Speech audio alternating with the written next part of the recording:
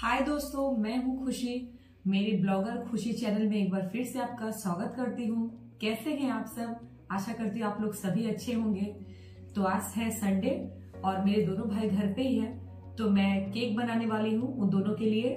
तो मैंने सोचा आप लोग के साथ भी मैं अपना केक का रेसिपी शेयर कर रही हूँ, जो कि मैं फ्रूट केक बनाने वाली हूँ। तो ये है अढ़ाई कप मैदा और डेढ़ कप मैंने चीनी लिया हुआ है।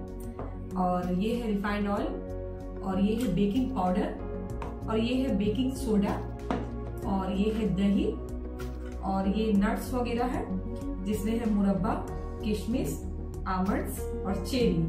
और ये है वेनिला एसेंस तो मैं आप लोग के साथ ये रेसिपी शेयर करती हूँ, फिर केक रेडी हो जाने के बाद फिर मैं आपको दिखाऊँगी कि केक कैसा तैयार हो और आप लोग को बताइएगा कि आप लोगों को मेरा ये रेसिपी कैसा लगा। तो आप देख रहे हैं कि मैंने यहाँ मिक्सर ग्राइंडर का जार लिया हुआ है और मैंने मैदा को थोड़ा चाल लिया था चलनी से, क्योंकि मुझे फाइन मैदा चाहिए केक बनाने के लिए। तो मैं इसको भी जार में डाल रही हूँ। मिक्स करना होगा। तो मैंने सारा मैदा जार में डाल दिया उसके बाद आप देख रहे हैं ये चीनी है। जिसको मैंने मिक्सर ग्राइंडर में ग्राइंड कर लिया है, इस तरह का पाउडर होना चाहिए। तो ये मैं चीनी भी इसी में मिक्स कर लूँगी।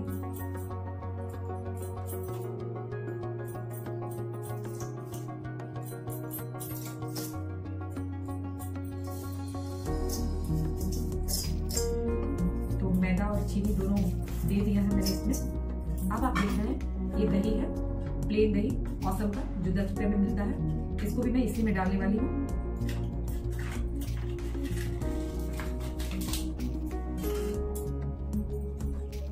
मैं इसमें दही डाल रही हूँ।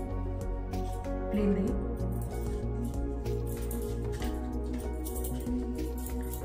मैंने दही डाल दिया। अब मैं इसमें डाल रही हूँ रिफाइंड ऑयल ठीक है?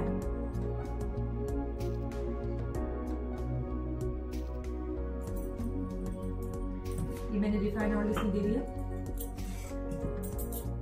हाफ़ कप अब मैं इसमें डालूँगी बेकिंग पाउडर बेकिंग पाउडर आप दे सकते हैं एक चम्मच और बेकिंग सोडा हाफ़ चम्मच से कम। ये देखिए, आप देख रहे हैं कि मैंने छोटा सा एक चम्मच लिया हुआ है, जिससे मैंने इतना बेकिंग आप देख रहे हैं कि मैं डाल रही हूँ बेकिंग सोडा ये बेकिंग पाउडर ये जो बेकिंग सोडा है, ये हाफ़ चम्मच से भी कम दे हुए आप लोग देख ही सक रहे हैं कि हाफ़ चम्मच से भी कम दिया हुआ जो मैं इसमें ऐड कर रही हूँ। उसके बाद में ये जो वेनिला एसेंस है इसको भी मैं डाल रही हूँ। इसको थोड़ा आप ऐसे ऐसे कर लीजिएगा। उसके बाद मैं ये, आप देख रहे हैं, एक ढक्कन लिया हुआ है। इसी का ढक्कन है इससे ढक्कन से एक ढक्कन।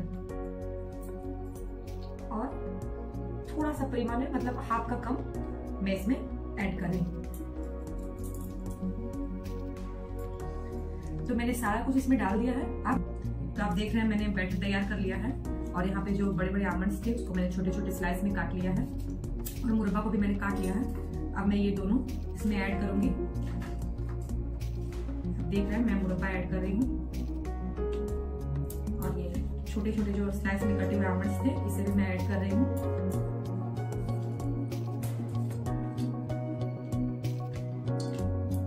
उसके बाद मैं इसे थोड़ा मिक्स कर लूँगी, इस तरह करके एक आप चम्मच ले सकते हैं। और उसके बाद इसको इस तरह मिलाइएगा।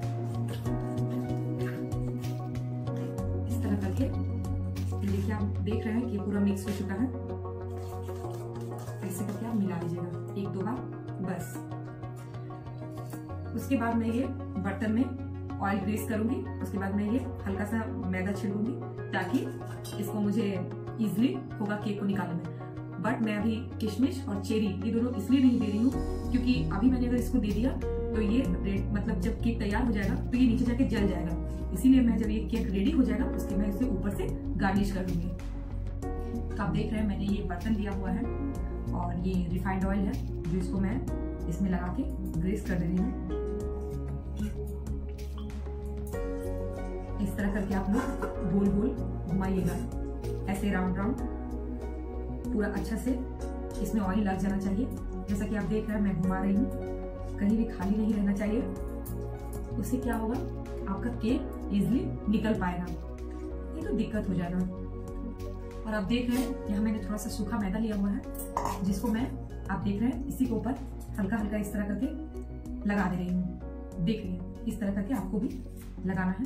साइड साइड में इस तरह इस तरह करके, ऐसे गोल गोल गोल गोल घुमा के आपको भी लगा देना है। इस तरह इस तरह करके आप घुमाते जाइएगा, और ये मैदा इधर अपने से लगते जाएगा। अब मैं बैटर को फाइनली इसमें ढालने जा रही हूँ। तो आप देख रहे हैं कि इसमें सारा बैटर जो मैंने अभी रेडी किया था, वो इसमें सारा जा रहा है।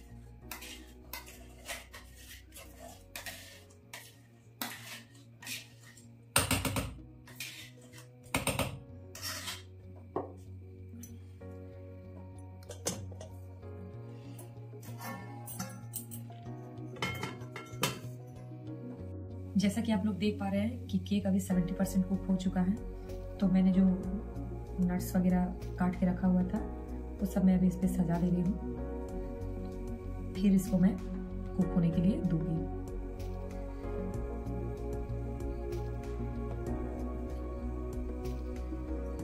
केक तो फ्लफी हो रहा है धीरे धीरे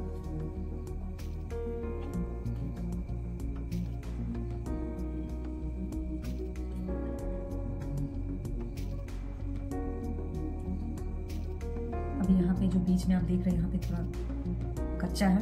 अभी ये हुआ नहीं, पूरी तरह से।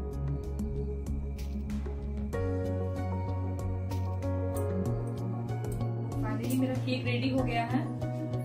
तो आप देख रहे हैं कि मेरा केक बना हुआ है इस तरह का। तो अभी दोनों भाई मेरा सो रहा है, उठा नहीं है लेट हो गया है। तो मैंने सोचा कि मैं नानी को ही टेस्ट कराती हूँ। ये देखिए, सामने नानी बैठी हुई है।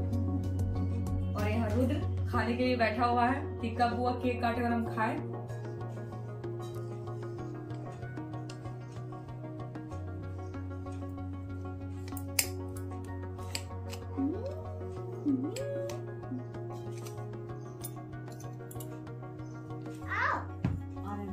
तो हम नानी को टेस्ट करा रहे हैं कि केक कैसा बना है।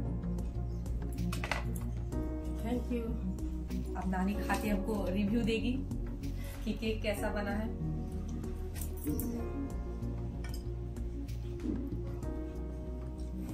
वाह। बहुत ही बहुत ही टेस्टी केक है। खाने में बहुत मज़ा लग रहा है।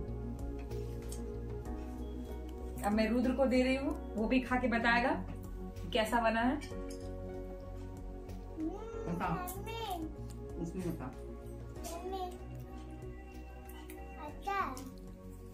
पसंद आया? खाओ। तो ये था मेरा आज का केक का रेसिपी जो मैंने आप लोगों के साथ शेयर किया। अब आप लोग बताइएगा कि आप लोगों को कैसा लगा।